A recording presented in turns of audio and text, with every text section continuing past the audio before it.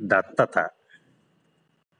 కిటికీకి తల అనించి వీధి మలుపుకు చూపు సారించి దీర్ఘంగా చూస్తూనే ఉంది సుజాత. అప్పటికే టీ తాగడం పూర్తి చేసిన రాఘవ వీధి చివరకొచ్చిన పిల్ల ఇంటికి రాకుండా పోతుందా సుజ? వచ్చి టీ తాగు చల్లారిపోతోంది అని పిలిచాడు.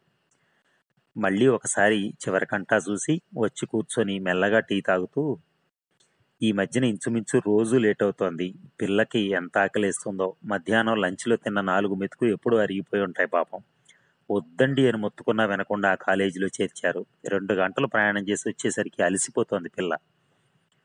అంటూ కణతలు నొక్కుంది మన పిల్ల ఒక్కతేనా సుజ? అందరూ వెళ్తున్నారు. అది మంచి కాలేజీ అనే కదా. అందులో బైపీసీ గ్రూప్ కదా. మంచి ర్యాంక్ వస్తేనే మెడికల్ సీట్ వస్తుంది. పోనీ కాలేజ్ పక్కనే ఉన్న కాలనీకి మారిపోదామంటేనేమో నువ్వు ఒప్పుకోలేదు. అయినా ఇంకో ఆరు నెలలేగా బాధపడకు అని ఓదార్పుగా చేయి వేయబోయేసరికి చేయి విసురుగా తోసేస్తూ ఏంటి? ఆ కాలనీక నా కూతుర్ని నాకు దూరం చేసే వరకు మీకు తృప్తి లేదా ఏంటి? అని అరిచింది. ఇంకా మారి మాట్లాడలేదు రాఘవ. కానీ సుజాత ఏదో గొణుక్కుంటూనే ఉంది. బెల్లు మోగిన శబ్దానికి గొణుగుడు ఆపి మొహానికి నవ్వు పులుముకుని తలుపు తీసింది. సిరి మెల్లగా లోనికి వచ్చి బ్యాగ్ చైర్లో జారవిడిచి ఉస్సూరుమంటూ కూర్చుంది.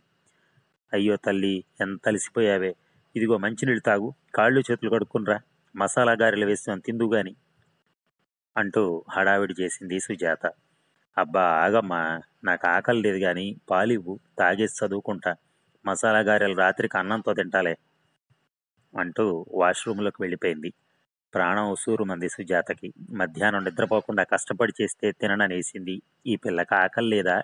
లేక ఏదో అనుమానం మనసులోకి వస్తున్నా దాన్ని పెరగనీయకుండా పాలు పొయ్యి మీద పెట్టి మళ్ళీ హాల్లోకి వచ్చి బ్యాగ్ తీసుకుని సిరి రూమ్లో పెట్టింది.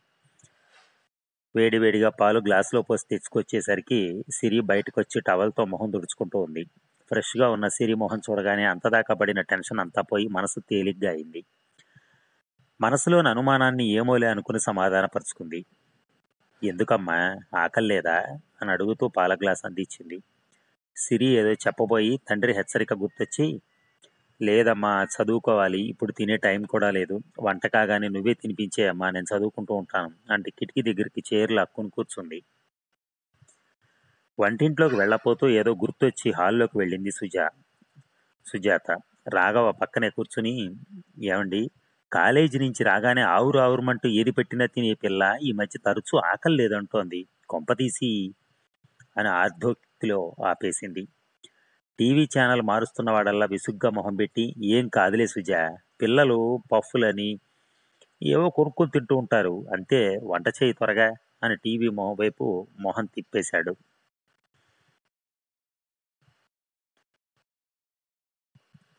అయినా తన పిచ్చి కాకపోతే ఏనాడైనా తనకేమైనా చెప్పాడా తన మాట విన్నాడా? ఇదంతా నా కర్మ అనుకుంటూ వంటింట్లోకి వెళ్ళిపోయింది. కొద్దిసేపటికి సిరి కిచెన్లోకి వచ్చి ఏ వండుతున్నావమ్మా? అంటూ వెనక నుంచి తల్లిని కావలించుకుంది. ఒక్కసారిగా మనసులోని ఆందోళన పోయి సంతోషం నిండిపోయింది. ఈ ప్రేమ కోసం తాను ఏమైనా చేస్తుంది? అనుకుంది. రాత్రంతా ఏవో ఆలోచనలతో నిద్ర పట్టక కలత నిద్రపోయినా రోజులాగే వేకోనే నిద్ర లేచింది సుజాత. ఎప్పుడు కూడా సిరి లేచేలోపే లేచి టిఫిన్ బాక్స్లోకి ఏదో స్పెషల్ చేసేసి అప్పుడు సిరిని లేపుతుంది. టిఫిన్ తినిపిస్తూ వెనకే తిరుగుతూ సిరి కాలేజీ వెళ్ళే వరకు బిజీగానే ఉంటుంది. సిరి వెళ్ళిపోయాక ఇల్లంతా శుభ్రం చేసుకుని స్నానం చేసి పూజ చేసుకుంటే గానీ ఆమెకు ప్రశాంతత. సిరికి బాయ్ చెప్పి ఏమండి? అంటూ లోపలికి వచ్చింది సుజాత. రాఘవ టేబుల్ ముందు కూర్చుని టిఫిన్ తింటున్నాడు. ఎదురుగా కూర్చుని ఏమండి మీరు ఎన్నైనా చెప్పండి. సిరి తప్పనిసరిగా వాళ్ళని కలుస్తోంది. మీరు కళ్ళు మూసుకుని నన్ను మూసుకోమంటున్నారు. ఇది ఎక్కడికి వెళ్తుందో అని నాకు రోజు రోజుకి టెన్షన్ పెరుగుతోంది అని తల కొట్టుకుంది. నువ్వు అనవసరంగా ఎక్కువగా ఆలోచిస్తున్నావు సుజా. అని తాపీగా సమాధానం చెప్పాడు రాఘవ. అంతేలేండి నేనేగా పరాయిదాన్ని నా కర్మ కాకపోతే దేవుడే నాకు అన్యాయం చేశాడు. ఇంకా మీరేం మేలు చేస్తారులే నాకు? అంటూ అక్కడి నుంచి వెళ్ళిపోయింది. స్నానం అది చేసి సిరి గదిలో దుప్పట్లు మడత పెడదామని తెలుపుతుంటే సిరి సెల్ ఫోన్ కనిపించింది. అయ్యో మర్చిపోయినట్టుందే. ఈరోజు ఇంకా కనీసం లంచ్ టైంలో కాల్ చేసి తిన్నావా అమ్మా అని అడగడానికి కూడా వీలు కాదుగా? అంటే ఈ పిల్ల ఎంత వెంట ఉన్నా ఏదో ఒకటి మర్చిపోతూనే ఉంటుంది అనుకుంటూ ఛార్జింగ్ పెడదామని ఫోన్ అందుకుని ఏదో ఆలోచన రాగా ఫోన్ ఆన్ చేసి కాల్ లిస్ట్ ఓపెన్ చేసింది. ముందు రోజు రిసీవ్డ్ కాల్స్లో బాబాయ్ అని పేరు చూడగానే ఒక్కసారి కోపంతో ఊగిపోయింది సుజాత. చెప్పలేనంత దుఃఖంతో అరుస్తూ బయటికి వెళ్ళడానికి రెడీ అవుతున్న రాఘవ దగ్గరికి వెళ్ళి కళ్ళ ముందు ఆడించి ఇదేమిటి? అందరూ కలిసి నన్ను మోసం చేస్తున్నారన్నమాట. నేను మీకేం ద్రోహం చేశానండి? అంటూ గోడకేసి తల బాదుకోసాగింది. రాఘవ దగ్గరికి వచ్చి గట్టిగా పట్టుకుని పిచ్చెక్కిందా నీకు? అంటూ బలవంతంగా కూర్చోబెట్టి నీళ్ళు తాగించబోయాడు. సుజాత తల అటు ఇటు తిప్పుతూ నాకొద్దు మీరు మీ కూతురు మీ వాళ్ళు అంతా కలిసి నన్ను పిచ్చిదాన్ని చేశారుగా నేను చచ్చిపోతాను మీరంతా హాయిగా ఉండండి అంటూ హిస్టీరికల్గా ఏడుస్తోంది. రాఘవకి ఏం చేయాలో అర్థం కావట్లేదు. అతను ఊహిస్తూనే ఉన్నాడు ఇలాంటి పరిస్థితి రావచ్చని. తీరా వచ్చినప్పుడు ఎలా స్పందించాలో అర్థమే కావట్లేదు మెల్లగా ఆమె పక్కన కూర్చొని నా మాట విను సుజ కాస్త స్థిమితపడు అంటూ దగ్గరికి తీసుకోబోయాడు. సుజాత ఒక్క విదిలింపుతో తోసేసి విసురుగా లేచి బెడ్రూమ్లోకి వెళ్ళి మంచం మీద వాలిపోయి వెక్కిళ్ళు పెడుతూ ఉంది రాఘవ దీర్ఘంగా నిట్టూర్చి ఫోన్ తీసుకుని పెరట్లోకి వెళ్ళాడు. ఒక్క క్షణం ఏదో ఆలోచించి తమ్ముడికి కాల్ చేశాడు. కుమార్ ఫోన్లో హలో అన్నయ్య బాగున్నారా అని అనగానే మా బాగా ఏం చెప్తావులే కానీ నువ్వు నిన్న సిరి కాలేజీకి వెళ్ళావా? అని స్ట్రైట్గా అడిగాడు. కుమార్ ఒక్క క్షణం మౌనం వహించాడు. చెప్పరా అని రాఘవ రెట్టించేసరికి మెల్లగా ఇంట్లో చికెన్ బిర్యానీ చేసామన్నయ్య సిరికి ఇష్టం కదా అని తనను ఒకసారి చూసినట్టు ఉంటుందని నేను మీ మరదలు వెళ్ళాం. వదినకి తెలిసిపోయింది అన్నయ్య? అన్నాడు. కుమార్ కంఠంలో బెదిరి చూసి రాఘవ బాధ రెట్టింపైంది. ఏమీ లేదులేరా నిన్న సిరి ఆకలి లేదంటే మీరు ఏమైనా తీసుకెళ్ళి తినిపించారేమో అని అనుమానం వచ్చింది. సరేలే కానీ నువ్వు ఇలా కాలేజీకి వెళ్ళి కలవటం మానేస్తేనే బెటర్ రా అర్థం చేసుకో అంటూ ఫోన్ పెట్టేశాడు. నిజానికి ఎవరు అర్థం చేసుకోవాలి? కుమారా నువ్వా? అని లోపల నుంచి ఎవరో ప్రశ్నించినట్టు అనిపించి తలదించుకున్నాడు అసలు తాము పిల్లలు లేని వాళ్ళగానే ఉండిపోతే ఒకటే బాధ. ఉండేదేమో. ఇప్పుడు అందరికీ బాధ అని అనుకుంటుంటేనే గతం గుర్తొచ్చింది. పెళ్ళయ్యాక ఒక రెండేళ్ళు తాను సుజాత పిల్లల కోసం ఏం ఆలోచించలేదు. రెండేళ్ళ తర్వాత అందరూ ఇంకా విశేషం ఏమి లేదా అని అడుగుతుంటే కూడా ఇంకో మూడేళ్ళు కులాసాగానే గడిపేశారు. ఈలోగా తమ్ముడు కుమార్కి పెళ్ళవటం సంవత్సరం తిరగకుండానే మరదలు గర్భం దాల్చడంతో సుజాత కొంచెం కలత చెందటం మొదలైంది. సీమంతాలు సూడిదలు కళ్ళ ముందే తోడుకోడలు పండంటి పాపనెత్తుకోవటం భర్తతో పీటల మీద కూర్చొని బారసాల చేసుకోవటం చూస్తూ ఆత్మన్యూనతకు లోనయ్యేది. ఏమండి నాకెందుకు పిల్లలు పుట్టట్లేదు నాలో ఏదైనా లోపం ఉందా? నేను తల్లినే కదా నేను తల్లిని కాలేనా? అని బేలగా ప్రశ్నించేది. అలాగే ఇంకో సంవత్సరం కూడా గడిచిపోయాక తండ్రి హెచ్చరించటం తల్లి కొద్దిగా సూటిపోటు మాట్లాడటం మొదలయ్యాక గుండెలు దడదడలాడుతూ ఉండగా డాక్టర్ని కలిశారు. ఒక ఐదేళ్ళు ఆ టెస్టులు ఈ మందులు సుజాతకి చిన్న చిన్న ఆపరేషన్లు జరిగాక ఇద్దరిలోనూ పెద్దగా సమస్య లేదు కానీ సంతానం ఎందుకు కలగట్లేదో తెలియట్లేదని తేల్చారు.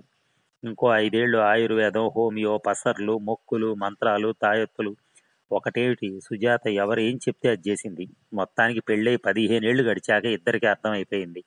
తమకింక సంతానం కలగదు అని. అప్పటికీ తమ్ముడికి ఇద్దరు ఆడపిల్లలు. మూడోసారి మరదలు గర్భంతో ఉంది. ఇద్దరు ఆడపిల్లలు అవటం మూలాన మగ సంతానం కోసం తల్లి పట్టుపట్టడంతో తమ్ముడికి ఇష్టం లేకపోయినా మూడో సంతానానికి రెడీ కాక తప్పలేదు. తమ్ముడు గవర్నమెంట్ టీచర్. పల్లెలోనే పోస్టింగ్ అవటంతో అమ్మ వాళ్ళ దగ్గరే పల్లెలోనే ఉండేవాడు. తాను కూడా మొదట్లో పల్లెలోనే ఉంటూ బ్యాంకుకు వెళ్ళేవాడు. తర్వాత వైద్యం కోసమని మెల్లమెల్లగా ట్రాన్స్ఫర్లు అవుతూ సిటీకి వచ్చేశాడు. సుజాత కూడా మంచి కాన్వెంట్లో టీచర్గా జాబ్ చేసేది. పండగలకి పబ్బాలకి రెగ్యులర్గా పల్లెకి వెళ్ళేవారు. తమ్ముడు తను ఇద్దరే అవటంతో మంచి అనుబంధమే ఉండేది. అదృష్టం ఏమిటంటే మరదలు సుజాత కూడా సొంత అక్క చెల్లెళ్ళ కలిసిపోయారు. తోడికోడలు నిండుగా పూసిన చెట్టులా పిల్లలతో కళకళలాడుతూ ఉంటే కొంచెం చివుక్కుమంటున్నా దాన్ని పెరగనీయక పిల్లల్ని దగ్గరకు తీస్తూ వాళ్ళకి సేవలు చేస్తూ తోడికోడలకి చేదోడుగా ఉండేది. పుట్టినరోజులకి పండగలకి పిల్లల పిల్లలకి పట్టు లంగాలు బట్టలు బొమ్మలు కొనేది. వాళ్ళని చూసుకుంటూ పిల్లలు లేరన్న బాధ మర్చిపోయేది. మరదలకి ఏడో నెల వచ్చాక స్కానింగ్లో కవలలు పుట్టునున్నారని తెలిసింది. నిజానికి సుజాతకు పిల్లలు పుట్టడం కష్టం అని తెలిసినప్పటి నుంచి తమ్ముడు పిల్లలు దివ్య రమ్యల్లో ఒకరిని పెంచుకోమని తల్లి చెప్తూనే ఉండేది. కానీ ఊహ తెలిసిన పిల్లల్ని పెంచుకుంటే తమను అమ్మా నాన్న అంటారా అని తాము దానికి సిద్ధపడలేదు. ప్రత్యేకంగా పెంచుకోవటం ఎందుకమ్మా? వాడి పిల్లలు నా పిల్లలు గారా అంటూ దాటవేస్తూ వచ్చాడు. కానీ కమలలు పుట్టబోతున్నారనేసరికి ఇప్పటికే ఇద్దరున్నారు. తమ్ముడికి కూడా పెంచడం భారమే కదా. మీరు పెంచుకోవాల్సిందే అని తల్లి ఖచ్చితంగా చెప్పింది. పురిట్లోనే తెచ్చుకొని పెంచుకోవచ్చు అనేసరికి సుజాత కూడా ఆశ కలిగింది. మరదలికి ఒక పాప ఒక బాబు పుట్టడంతో బారసాల రోజే పాపను తాము దత్తత తీసుకున్నారు. సుజాతతో పీటల మీద కూర్చుని పాపం చూసుకుంటుంటే జన్మ ధన్యం అయినట్టు అనిపించింది. తాము కన్నపిల్లే అనిపించింది తప్ప పెంచుకుంటున్నామన్న భావన కలగల ఇద్దరికి. మరదలు తమ్ముడు కొంచెం దిగులు పడినా నీ నా అన్న తేడా ఏముందిరా అంటూ మన పిల్లలే పండగలకి పబ్బాలకు కలుస్తూనే ఉంటాం కదా. సెలవులు వస్తే మీరు మా దగ్గరికి వస్తారు. ఇంచుమించు కలిసే పెరుగుతారు. ఇక విచారం దేనికి? అని తాను ధైర్యం చెప్పాడు. మరదలకు మాత్రం మనస్ఫూర్తిగా చేతులెత్తి నమస్కరించాడు. అయ్యో బావగారు మీ దగ్గర నా బిడ్డ పెరగడం దాని అదృష్టం. చిన్నదాన్ని నాకు నమస్కరించకండి అంటూ గుండెలోని బాధను దిగమింగుకుంటూ వీడ్కోలు పలికింది. మరదలు అన్నట్టు సిరి పాప నిజంగానే అదృష్టవంతురాలే. పాప వచ్చిన వేళ విశేషం రాఘవకు ప్రమోషన్ వచ్చింది అలాగే లోన్ పెట్టి సొంత ఇంటి వాడయ్యాడు. ఇక సుజాత అయితే మాతృత్వ మధురిమల్లో మునిగిపోయింది. పాపే తన ప్రపంచమైంది. ఓ మూడేళ్ళు జాబ్కి లాంగ్ లీవ్ పెట్టేసింది. పల్లెకు వెళ్ళాలంటే కూడా ఇష్టపడేది కాదు. అమ్మో పాపకేదైనా జ్వరం వస్తే అంటూ కంగారు పడిపోయేది. అయితే అత్తామామ ఉన్నంతకాలం ఊరెళ్ళక తప్పకపోయేది. పాపకు మూడో ఏడు జరుగుతుండగా అత్తామామ ఆరు మాస ఆరు మాసాల తేడాలో చనిపోయారు. దాంతో ఊరెళ్ళటం తగ్గించేసింది. అంతేకాదు సిరిని తోడి కోడలుగా మరిదిని కానీ ముద్దు చేస్తే తట్టుకోలేకపోయేది. పెద్ద పిల్లలిద్దరికీ సకల సేవలు చేసిన సుజాత సిరితో పాటే పుట్టిన శ్రీకర్ని కనీసం ఎడంచేత్తో కూడా తాకేది కాదు. మొదటి సంవత్సరం పండక్కి వెళ్ళినప్పుడు మరిది తన పిల్లలతో పాటు సిరికి కూడా బట్టలు తీసుకొచ్చాడు. అది చూసి సుజాత మరిదిని పక్కకు పిలిచి ఇంకెప్పుడు సిరికి బట్టలు కొనొద్దని ఖచ్చితంగా చెప్పేసింది. కుమార్ ఆశ్చర్యపోయాడు వదినలో మార్పును చూసి. పండగలకి పుట్టినరోజులకి పిల్లలందరికీ బట్టలు తీసి వదిన శ్రీకర్కే కాదు పెద్ద పిల్లలందరికీ సైతం బట్టలు తేలేదు సరికదా? సిరి కొనవద్దని తనతో చెప్పటం మనస్సును చివుక్కుమనిపించింది. సరిత కూడా అక్కలోని మార్పుకు బాధపడింది. తమ మధ్య అనుబంధం మరింత చిక్కనవుతుందని తాము పిల్లని దత్తతిస్తే అక్కేమో ఇంకోలా ప్రవర్తిస్తోంది ఎందుకో అని ఆలోచనలో పడింది. దత్తతకి ఇవ్వాలి అనుకున్నప్పుడు తాను బాధపడుతుంటే ఎక్కడికో దూరం ఇస్తున్నావా ఏంటి? వాళ్ళు ఇక్కడికి మనం మీరు అక్కడికి వెళ్తూనే ఉంటారు. అయినా సుజాత నీ పిల్లల్ని సాకటం ఏమైనా కొత్త కలిసి పెంచారు కదా ఇప్పటి వరకు ఇది అంతే. ఏదో వాళ్ళ తృప్తి కోసం దత్తత ఇవ్వటం అంతే అని భర్త అత్త ఓదార్చారు. కానీ ఇప్పుడు జరుగుతున్నది వేరు. ఇక తర్వాత వారి మధ్య పూర్తిగా దూరం తగ్గిపోయింది. దూరం పెరిగిపోయింది. మరిది కుటుంబాన్ని సెలవులకు పిలవటాలు తాము పండగలకు పోవటాలు కూడా మానేశారు. అప్పుడప్పుడు కుమార్ వాళ్ళే వచ్చేవారు. వాళ్ళున్న నాలుగు రోజులు ఇల్లంతా సందడిగా ఉండేది. సిరి శ్రీకర్తోనూ అక్కలిద్దరితోనూ చక్కగా ఆడుకుంటుంటే రాఘవకు సంతోషంగా ఉండేది. కానీ సుజాత మాత్రం వాళ్ళు ఎప్పుడు వెళ్ళిపోతారా అన్నట్టు చూసేది. దాంతో రోజు రోజుకి వాళ్ళు రావటం కూడా తగ్గిపోయింది.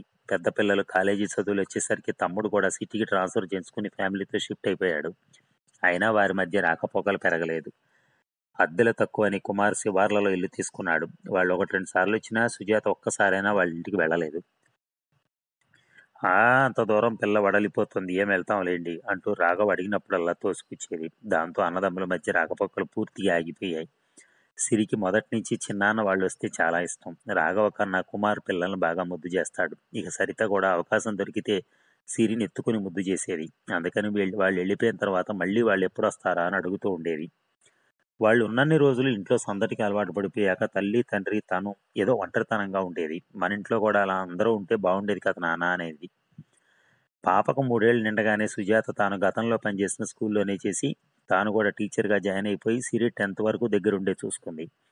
టెన్త్ అయిపోయాక సుజాత కూడా జాబ్కి రిజైన్ చేసేసింది.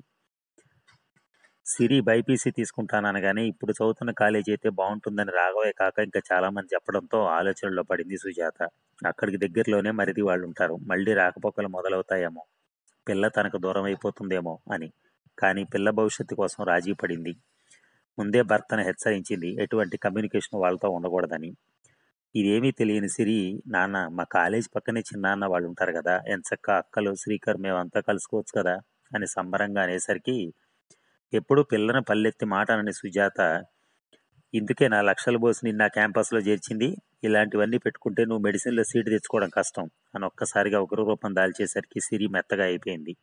కుమార్ ఎంతగా అన్నవాళ్ళకు దూరంగా ఉన్నా సిరి పక్కనే కాలేజీలు చేరిందని తెలియగానే భార్యను తీసుకుని వెళ్ళి కలిసి వచ్చాడు ఆ విషయం మీదే ఎగురుకుంటూ వచ్చి చెప్పగానే పెద్ద గొడవ జరిగింది ఇంట్లో.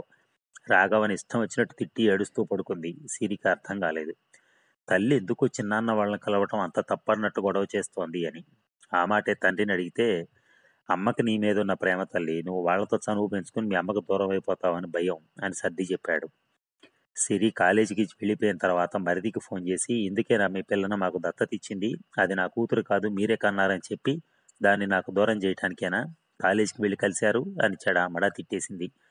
అంత గొడవ జరిగిన తర్వాత రాఘవ ఓ నిర్ణయానికి వచ్చి సుజాత లేనప్పుడు సిరితో చూడమ్మా ఒకవేళ నువ్వు చిన్నాన్న వాళ్ళని కలిసిన ఆ విషయం అమ్మతో చెప్పకమ్మా అని చెప్పాడు. అదేంటి నాన్న ఇంత చిన్న విషయానికి అమ్మకు అబద్ధం చెప్పాలా? అని ఆశ్చర్యపోతే చూడమ్మా నువ్వు అలా విషయం దాస్తేనే నువ్వు చిన్నాన్న వాళ్ళు అప్పుడప్పుడైనా కలవగలరు అనేసరికి సరే నాన్న అని ఒప్పుకుంది.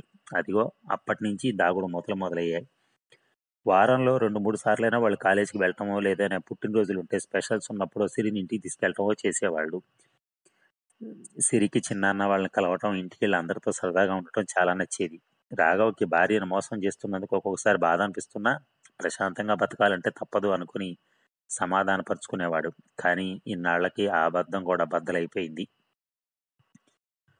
ఆలోచనల్లోంచి బయటపడి సుజాత ఏం చేస్తుందో అనుకుంటూ గదిలోకి వెళ్ళాడు. సుజాత ఇంకా ఏడుస్తూనే ఉంది. మెల్లగా వెళ్ళి పక్కనే కూర్చుని ఎందుకు సుజా బాధపడుతున్నావు? అని నెమ్మదిగా వీపు మీద రాస్తూ అడిగాడు. మీకు అర్థం కాదండి. వాళ్ళు ఇలాగే కలుస్తూ కొన్ని రోజులకు నిజం చెప్పేశారనుకోండి నా కూతురు నాకు దూరం అయిపోదా చెప్పండి అంటూ బావురు మంది ఏమిటి సుజా నీ అనుమానాలకు అంతం లేదా? వాళ్ళు ఎందుకు చెప్తారు? చెప్పేవాళ్ళైతే ఎప్పుడో నువ్వు వాళ్ళని దూరం పెట్టినప్పుడే చెప్పేవాళ్ళు. అయినా వాళ్ళు చెప్పినా సిరి మనల్ని వదిలిపోతుందా చెప్పు? ఒక్క క్షణం ఆవేశపడకుండా నేను చెప్పింది విను. ఒకవేళ సిరి మన కన్న కూతురి అయితే నువ్వు ఇలా భయపడేదానివా? అన్నదమ్ముల పిల్లలు కలిసిమెలిసి ఉండటం ఎంతో సహజం. ఎందుకు నువ్వు ఇంకా పరాయదానిగానే ఆలోచిస్తున్నావు? అని సూటిగా ప్రశ్నించాడు. సుజాత ఒక్క క్షణం తికమక పడింది. ఏం మాట్లాడలేక మౌనంగా ఉండిపోయింది. సిరి వచ్చే వాళ్ళకు లేచి పొయ్యి మీద కుక్కర్ పెట్టి స్నానానికి వెళ్ళింది అమ్మయ్య అనుకుని నిట్టూర్చాడు రాఘవ. స్నానం చేసి బట్టలు ఆరబెట్టడానికి డాబా ఎక్కుతుంటే పక్క వాట గేటు ముందు నుంచి మాటలు వినిపించి అటు వింది. ఎవరో చీపురు చీపుర్లు అమ్ముకునే ఆమె సంకలో నెలల పిల్లని ఎత్తుకొని మూడేళ్ళ పిల్లగాడు చేయబట్టుకుని నడుస్తూ ఉంటే పాపం తల మీద చీపుర్లు పెట్టుకుని అమ్ముకుంటోంది. పక్కింటి ఆమె చీపుర్లు బేరం చేస్తూ ఆ పిల్లల్ని ఎండలో తిప్పి చంపకపోతే ఏదైనా హోమిలో చేర్చచ్చుగా శుభ్రమైన తిండి చదువు అబ్బుతాయి అని సలహా ఇచ్చింది. పక్కింటి ఆమె ఎన్జిఓలో పనిచేస్తోంది. వెంటనే చీపుర్లు అమ్మే ఆమె ఆగ్రహంగా చాలు చాలే అమ్మా నా కష్టంతో కలో గంజో పెట్టి నా పిల్లల్ని పెంచుకోగలను. కొంటే కొను లేకపోతే మానేయి. అంతేగాని ఇట్ట చెప్పకు. కడుపార కన్న పిల్లలనట ఎక్కడో వదిలేయాలట. మా బాగా చెప్పావు అని కొనుక్కుంటూ పోయింది. సుజాత లోనికి వచ్చి ఆ పని ఈ పని చేస్తూ ఉందన్న మాట కానీ మనసులో ఆ చీపురులా మెదులుతూనే ఉంది. ఎంత ధీమాగా సమాధానం చెప్పింది. ఎంత ప్రేమ దానికి పిల్లల మీద అనుకుంటూ భర్తను భోజనానికి పిలిచింది. సాయంత్రం సిరి వస్తూనే అమ్మ ఈసారి నా పుట్టినరోజు సండే వచ్చింది. కాలేజీ వెళ్ళక్కర్లేదో అంటూ పోమ్మా నువ్వు నాకింతవరకు కొత్త బట్టలే తీయలేదు అంది గోముగా. అవును కదా ఈసారికి నేను బట్టలు తీసేసి పుట్టినరోజు ప్లాన్స్లో ఉండేదాన్ని. అది ఎలా మర్చిపోయాను అనుకుంటూ రేపు బంగారు రేపే మనం షాపింగ్ వెళ్దాం. నీకు కావాల్సిన అన్ని కొక్కుంది కానీ అంటూ సిరిని దగ్గరికి తీసుకుంది. అప్పుడే తన బంగారానికి పదహారేళ్ళు అనుకుంటోంది. కళ్ళు తడు తడయ్యాయి. నిశ్చయానికి వచ్చింది దానిలాగా కళ్ళు తుడుచుకుంటూ తను పుట్టినరోజు తను ఈ పుట్టినరోజుకి సిరికి మర్చిపోలేని బహుమతి ఇవ్వాలని గట్టిగా నిర్ణయించుకుంది. చూస్తుండగానే సిరి పుట్టినరోజు వచ్చేసింది. పొద్దున్నుంచి సుజాత హడావిడికి అంతులేదు సిరికి ఇష్టమని ముందు రోజే గులాబ్ జాము చేసింది. మొదటిసారిగా పట్టులంగా ఓణిలో సిరి మెరిసిపోతోంది. ఎప్పట్లాగే లంచ్కి రెస్టారెంట్కి వెళ్దామని రాగవంటే అదే వద్దండి. ఇంట్లోనే నేను చికెన్ కర్రీ సాంబార్ అన్నీ చేస్తా కానీ మీరు వెళ్ళి biryani family pack ice cream fam family pack తీసుకురండి అని పురమాయించింది. ఫ్యామిలీ ప్యాక్ ఎందుకు సుజా? సింగిల్ బిర్యానీ జాలే ఐస్ క్రీమ్ కూడా ఫ్యామిలీ ప్యాక్ అంటే చాలా ఎక్కువైపోతుంది. సిరికి అసలే పడదు. ఎక్కువ తిన్నదంటే మళ్ళీ జ్వరం పట్టుకుంటుంది అని చెప్పాడు. చెప్పింది చేయండి అని విసుక్కుంటుంటే సిరి కూడా నిజమేనమ్మా ఈ ఇయర్ నా ఫ్రెండ్స్ కూడా ఎవరు రానన్నారు. అసలే సెకండ్ ఇయర్ కదా చదువుకోవాలని. మన ముగ్గురవే సింపుల్గా కేక్ కట్ చేసుకుందాం అంటూ సిరి గొంతులో నిరుత్సాహం దాగలేదు. సుజాత అది ఏమీ పట్టించుకోకుండా వెళ్ళరేమండి అంటూ తొందర పెట్టింది. పన్నెండు గంటల కల్లా టేబుల్ మీద అన్నీ రెడీ చేసి అమ్మయ్య అనుకుంది. ఇంతలో గేటు చప్పుడయ్యేసరికి అటుగా చూసిన రాఘవ మెల్లగా నడిచొస్తున్న తమ్ముణ్ణి మరదల్ని పిల్లల్ని చూసి నివ్వెరపోయాడు. అయిపోయింది. ఇక ఈ రోజు సుజాతను నేను సమాధానపరచలేను అనుకుంటూ ఆవేశంగా వరండాలోకి వెళ్ళి ఏంట్రా ఇలా వచ్చారు? నీకు ఎలా చెప్తే అర్థమవుతుంది? అంటే ఇంకా ఏదో అనబోతున్నాడు. ఈలోగా సుజాత హడావిడిగా వరండాలకు వచ్చి రా కుమార్ సరిత వచ్చావమ్మా? రెండమ్మ Ramya wish you many more happy returns of the day Sri అంటూ హడావిడిగా రిసీవ్ చేసుకుంది. మొదటిసారి తనను దగ్గరగా తీసుకుని విషెస్ చెప్తున్న పెద్దమ్మను చూస్తూ థ్యాంక్స్ చెప్పడమే మర్చిపోయాడు శ్రీకర్. దివ్య రమ్య అయితే ఎంత భయపడుతూ వచ్చారో పెద్దమ్మ ఎలా ఉంటుందో అని సరిత సుజాతను చూసి చిన్నగా లవ్వుతూ లోపలికి నడిచింది. అందరూ లోపలికి వెళ్ళాక కుమార్ అన్నయ్య దగ్గరికి వచ్చి కంగారు పడకన్నయ్య వదిన పిలిస్తేనే వచ్చాం అని నెమ్మదిగా చెప్పాడు. రాఘవ ఆశ్చర్యంలో ఉండగానే లోపల నుంచి సుజాత గట్టిగా మీ అన్నదమ్ముల కబుర్లు తర్వాత లోనికి రండి అంటూ అరిచింది. రాఘవ ఆప్యాయంగా తమ్ముడు భుజం మీద చేయి వేసి లోపలికి తీసుకెళ్ళాడు ఈ సందడికి లోపల నుంచి వచ్చిన సిరి ఒక్కసారిగా తన కళ్ళను తానే నమ్మలేకపోయింది. అక్క అంటూ దివ్యను వాటేసుకుంది. అందరూ సిరికి విషెస్ చెప్పారు. మాటల తర్వాత ముందు కేక్ కట్ చేద్దామంటూ సుజాత హడావిడి చేసింది. ఉదయమే డెలివరీ అయిన కేక్ ఫ్రిడ్జ్లోంచి తీసి టేబుల్ మీద అమర్చింది. అప్పుడు చూశాడు రాఘవ కేక్ మీద హ్యాపీ బర్త్డే శ్రీకర్ సిరి అని ఉండటం. అతనికి ఆశ్చర్యం మీద ఆశ్చర్యం కలుగుతోంది. ఇటు సిరి మిగిలిన వాళ్ళ పరిస్థితి కూడా అంతే. నిన్న ఫోన్ చేసిన వదిన లంచ్కి రమ్మని పిలవగానే కుమార్ ఒకంత ఇబ్బంది పడ్డాడు. శ్రీకర్ బర్త్డే కూడా కదా అని ఆలోచించి సరేలే సాయంత్రం తిరిగి వచ్చి వాడితో కేక్ కట్ చేయించలే అనుకున్నాడు. శ్రీకర్ అయితే రావటానికి కూడా ఇష్టపడలేదు. నా పుట్టినరోజు నాడు అక్కడికి ఎందుకు నాన్న అంటూ పెద్దలి పెద్ద పిల్లలిద్దరికీ పెద్దమ్మ ప్రేమాభిమానాలు తెలుసు కానీ శ్రీకర్కి సుజాతతో ఏమాత్రం చనువు లేదు. రారా శ్రీ నువ్వు సిరి ఇద్దరు కేక్ కట్ చేయండి అని సుజాత చెప్పగానే అంతా కేక్ కట్ చేశారు. ఇద్దరికీ కేక్ తినిపిస్తుంటే కుమార్కి సరితకి కళ్ళల్లో నీళ్ళు చిప్పిల్లాయి. అది చూసి రాఘవ కూడా కళ్ళు తడయ్యాయి. అంతా భోజనాలకు కూర్చున్నారు. సుజాత గలగలా మాట్లాడుతూ భోజనాలు వడ్డిస్తోంది. సరిత అక్కకు సాయం చేస్తోంది. తండ్రి పక్కనే కూర్చున్న శ్రీకర్ ఎప్పటి నుంచో అడగాలనుకున్న విషయాన్ని మెల్లగా అడిగాడు. నాన్న మరి నేను సిరి ఒకే రోజు పుట్టామా? అంటే ఒకే హాస్పిటల్లో పుట్టామా? సుజాత ఒక్క క్షణం కుమార్ ఏం చెప్తాడో అని కుతూహలంగా చూసింది. లేదు నాన్న మనం అప్పుడు పల్లెల్లోనే ఉన్నాం కదా. నువ్వు అక్కడే పుట్టావు సిరి ఇక్కడ పుట్టింది. మరి మా పేర్లు ఎవరు పెట్టారు? మీ పెద్దమ్మే నాన్న ఇద్దరికీ ఒకే ఒకే అక్షరంతో ఉండాలని పెట్టింది. వాళ్ళు శ్రీకర్ కాపేరు పెట్టినప్పుడు తను ఎంత చికాకు పడిందో గుర్తొచ్చి అపరాధ భావంతో తలవాల్చుకుంది సుజాత. సిరిమోహన్లో ఆనందం చూస్తుంటే తను ఇన్ని రోజులు ఎంత మూర్ఖంగా ప్రవర్తించిందో అర్థమైంది సుజాతకి. రోజంతా ముచ్చట్లతో ఎలా గడిచిపోయిందో తెలియకుండానే గడిచిపోయింది. రాత్రి భోజనాలు కూడా చేసి కుమార్ వాళ్ళు బయలుదేరారు. వాళ్ళు వెళ్ళిపోతుంటే సిరిమోహన్లో రంగులు చూసి దిగులు చూసి దగ్గరికి తీసుకుంటూ దిగులు పడక తల్లి. ఇంకో రెండు నెలలు ఓపిక పట్టు మన మేడ మీద పోర్షన్ ఖాళీ అవుతుంది. మీ చిన్నాన్న వాళ్ళని ఇక్కడికే వచ్చేయమన్నాను. సరే అన్నారు వాళ్ళు అని చిరునవ్వుతో చెప్పింది సిరి. ఆనందానికి ఇక పట్టపగ్గా లేవు. రాత్రి పడుకున్నప్పుడు రా రాఘవ సుజ నువ్వు నువ్వేనా? అని అడిగేసరికి ఇన్ని రోజులు నేను ఎంత మూర్ఖత్వంలో ఉన్నానో తెలిసిందండి. కన్న కూతుర్ని దత్తత ఇచ్చిన సరిత కుమారుల త్యాగం ముందు నా ప్రేమ ఎంత స్వార్థపూరితమైందో అర్థమైంది. అయినా అన్నదమ్ముల పిల్లలు కలిసి ఉండాలనుకోవటం నేరమేమి కాదు కదండి అని సంతృప్తితో కూడిన ఒక చిరునవ్వు నవ్వింది. ధన్యవాదాలు. Thank you